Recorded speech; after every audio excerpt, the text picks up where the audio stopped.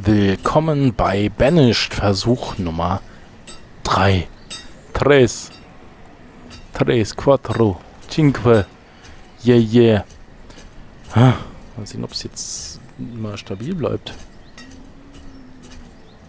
Machen wir ein bisschen Musik an. Kevin MacLeod. Death of Kings 2.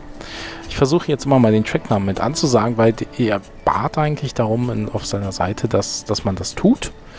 Und äh, dann machen wir das auch. So, der Förster ist besetzt. Ähm, der Fischer auch. Und äh, wir haben noch einen Arbeiter übrig, der dann auch was machen kann. Loks haben wir jetzt gerade gar nicht da. Das heißt, wir könnten eigentlich die Försterei weiter ausbauen. Ja, machen wir das einfach mal. Und das machen wir am blödesten, indem wir hier mal so ein paar Häuser noch setzen. Ein Haus. Ein Haus. Ein Haus soll uns erstmal reichen. Wir wollen ja, wir wollen es ja nicht provozieren. Und nicht zu viel machen. Jetzt shiftet schon wieder. Und es ist schon wieder Sommer.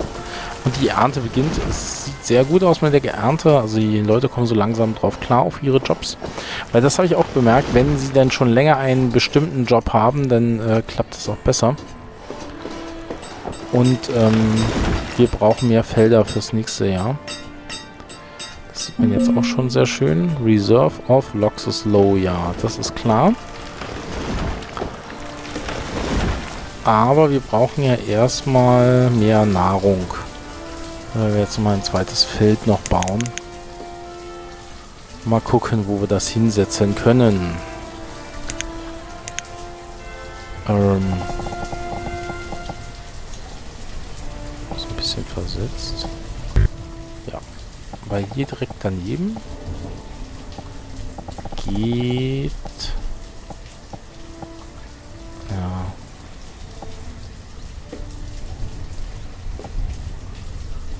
die Ecke da oben. Das heißt, wenn ich das 1 versetze, kann ich ein großes draus machen. Machen wir es doch einfach mal. Dann machen wir das doch einfach mal. Weil, also scheiß auf den Weg, also wirklich. So. Bum, bum, bum. Macht es in den Kopfhörern könnte fast Techno sein. Ist es aber nicht. So, hier. Oh, 11 und 11 Förster. Wir haben sehr junge Förster hier bei uns.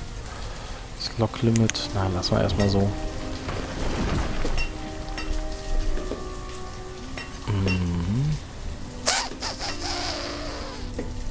Ich hoffe mal, das klappt jetzt besser hier mit den ganzen Blödsinn. Also, dass wir das besser aufnehmen können. Ähm, als bei den letzten Versuchen. Da hoffe ich wirklich drauf.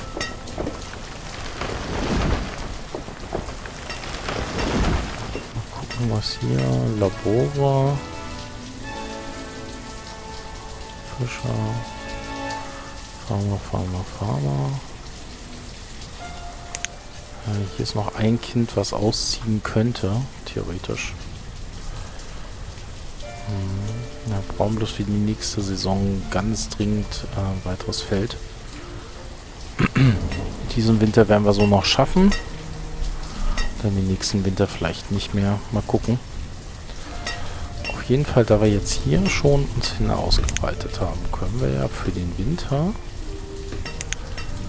mal den Auftrag geben, hier zur Straße quasi alle Ressourcen zu entfernen. Haben wir auf jeden Fall wieder Holz und haben wir wieder Steine und so. Das wird schon cool.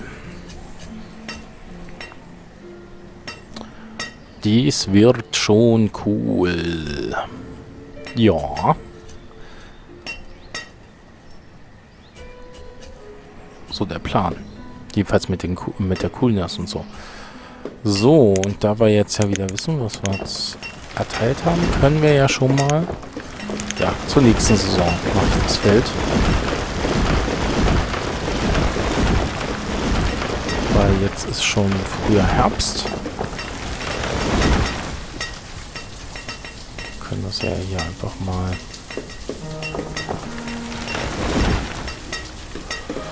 Iron sieht auch noch gut aus.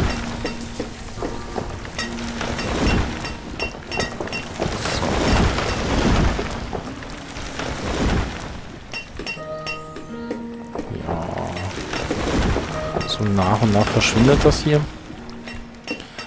Wir bloß gucken, wo wir die Mine hinpacken diesmal.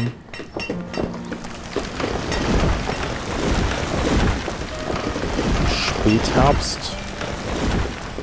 Ist doch schön. So eine herbstige Aufgabe.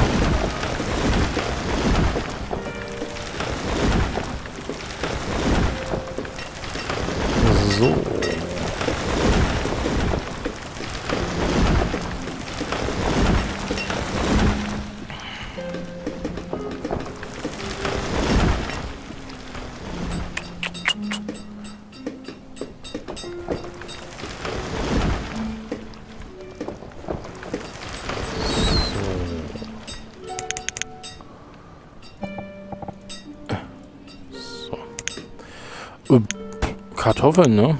Würde ich mal sagen. Und dann ziehe ich alle Arbeiter da rein, die ich habe. Kann aber gleichzeitig, weil wir ja dann im nächsten Jahr noch Essen haben werden, ich hoffe, die verhungern mir nicht gleich. Kann hier schon mal ein Haus noch ansetzen. Ja, gut, dann muss ich den einen jeden Fall dahin machen. So, lassen wir das Ganze wieder etwas schneller laufen.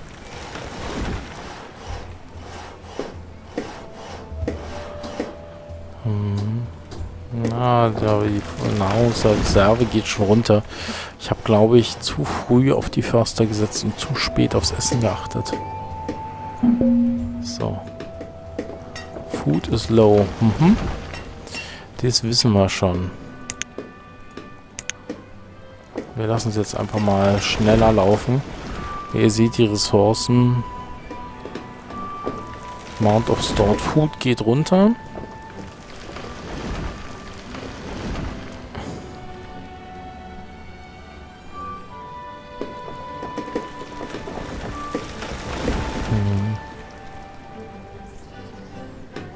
Na, hm. vielleicht beleben wir das knapp mit dem Fischer hier oben. Wir könnten ja einfach mal noch einen Fischer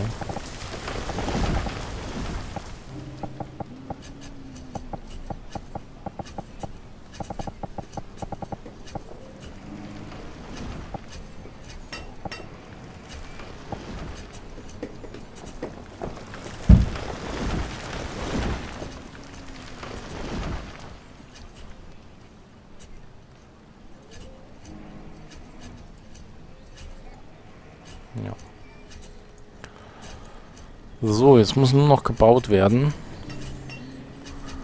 Acht mal nur drauf, dass die Felder ordentlich bestellt sind. Ich hoffe...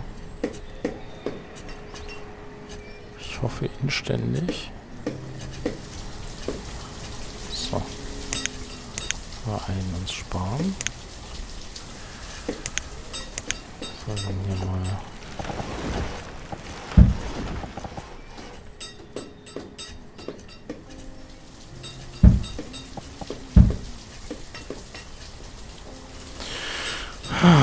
Hoffen wir mal darauf, dass der hier da schnell hinwuppt. Mal los gucken, wie wir das machen. Vielleicht im Winter die Fischer etwas mehr in die Pflicht nehmen. Es sollte gerade reichen, wenn ein Arbeiter fehlt. Ich hoffe mal, ich hoffe mal, dass das reicht. So, also kurz vor der Hungersnot. Ähm,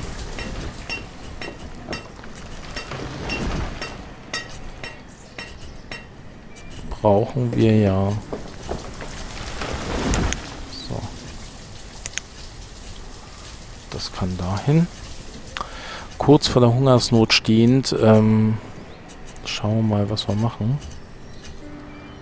Ah, sind nicht alle gewachsen. Wahrscheinlich ist das der eine Arbeiter, der fehlt. Dass hier so nicht alles gewachsen ist.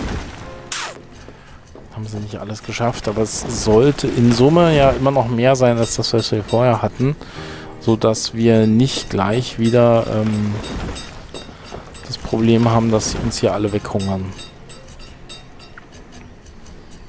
Wir haben vier von acht Fischern. Hm. Ja, vielleicht ist der Output an Fisch jetzt etwas höher. Ja, Loks und so weiter. Sieht erstmal ganz gut aus. Hm, wir müssen halt gucken. Mal hier ein dreijähriges Kind, Sechser, Vierer, Achter, also bald ein Arbeiter mehr. Sechser, Sechser. Eins. Neun. Also es gibt demnächst, ja, da sind sie. Die leiden Hunger. Aber ja, jetzt werden die Lager aufgefüllt. Wir haben auch wieder acht, acht Leute da. Einen Fischer können wir schon mal einstellen. Der eine Arbeiter ist auch da. Autumn. Na, beeilt euch, bevor der Winter kommt und wir hier wirklich noch alle verhungern. Wir reichen nicht mal mehr die 1000, ne? Weil es ja alles sofort wieder rausgetragen wird. Das ist halt auch die Leute, wenn sie jetzt, die Farmer speziell, sie jetzt das hinbringen und wissen, sie haben zu Hause nichts, bringen sie es ins große Lagerhaus und lagern es dann gleich um in ihr Haus. Hm. Ja, kommt die letzten Ressourcen hier noch raus? Ja, sieht gut aus. Sieht gut aus. So, 1, 2, 3, fahren wir weg. Drei Fischer hin.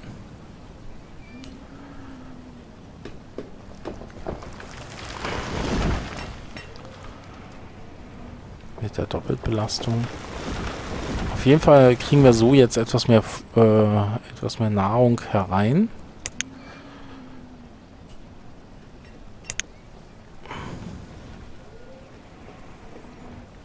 Da bloß zwei rausziehen nachher. Der Rest sieht eigentlich okay aus, ne?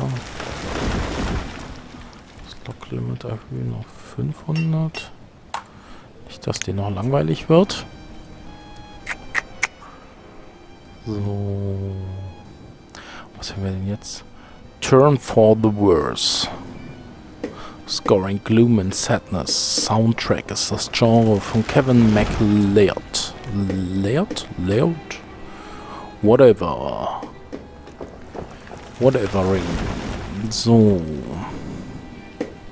Winter. Wir haben Winter und wir haben immer noch 400 Nahrung. Also es, es wird sich jetzt nicht so wirklich verbessern.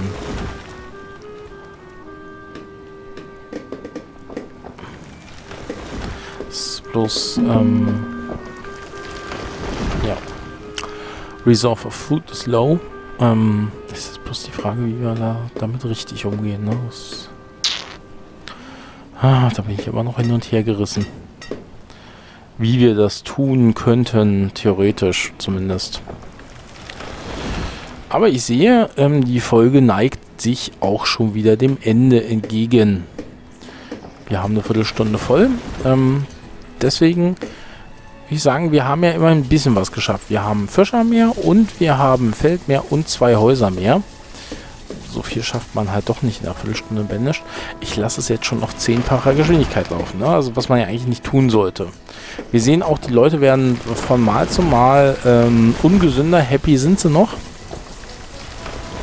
Aber wer nur von Kartoffeln und Fisch sich ernährt die ganze Zeit, dem kann es auch nicht so richtig gut gehen. Ne? So, ähm, dann würde ich sagen, äh, sehen wir uns gleich in der nächsten Folge. Ach nein, ein Arbeiter ist noch da. Den können wir noch umsetzen. Und ja, äh, bis dahin, ähm, bye bye. Was? Ach, Food, ja. Die verhungern hier wieder gleich. Es ist so an der Grenze, ne? Es ist so an der Grenze. Aber ich lasse mal die Fischer. Gut, ähm, ja, Late Spring, Jahr Nummer 5, äh, das ist die Stelle, an der wir es enden lassen. Beenden lassen. Bewenden lassen? Na, wie auch immer.